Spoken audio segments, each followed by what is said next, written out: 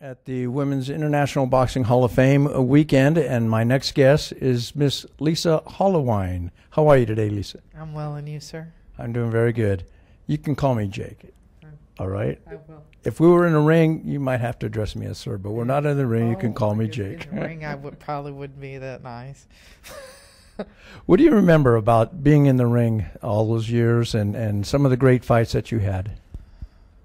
I remember that I was always impressed with the caliber of, of women that I fought. I was it was great to be a female boxer in the time that, that I fought because we were packed wall to wall with top quality athletes that wanted to win and wanted to fight. How do you feel that women's boxing has, has come along since you've retired from it? Know, I think there's natural ebbs and flows, and we're in li- a little bit of an ebb. But I'm I'm I'm hopeful that the flow will come back.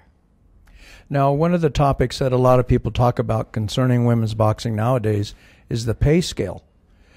I don't know, and I'm not asking you how much you made during the times that you fought, but don't you feel that women should be paid more at this time?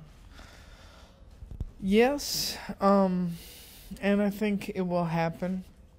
But I am an eternal optimist. Uh, you know, the when I became a world champion, I thought that meant that my pay scale was going to go up, and I was only going to fight ten round fights.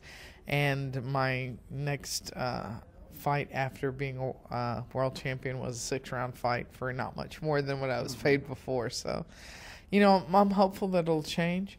But the truth is, is anyone that gets into women's boxing believing that they're going to be a millionaire uh, really should probably have a career adjustment. You made your pro debut in Las Vegas. I, yeah, it was crazy, and not many people get that that opportunity, but I did. It was wonderful, and I had a ball. And then the next time you fought in Las Vegas, you fought a young lady who you know very well, Christy Martin. And that was in the boxing capital of the world on the big stage. How was that?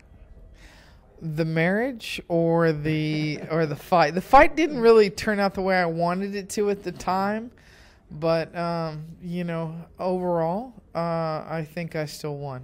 I got her. You and Christy both married now and uh, enjoying life? Yeah, couldn't be better.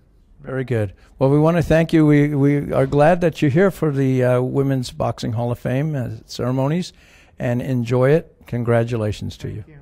I'm proud to be inducted. It's quite an honor. And we're proud, very proud to have you a part of it. Thank you. Thank you. Take care. Thank you.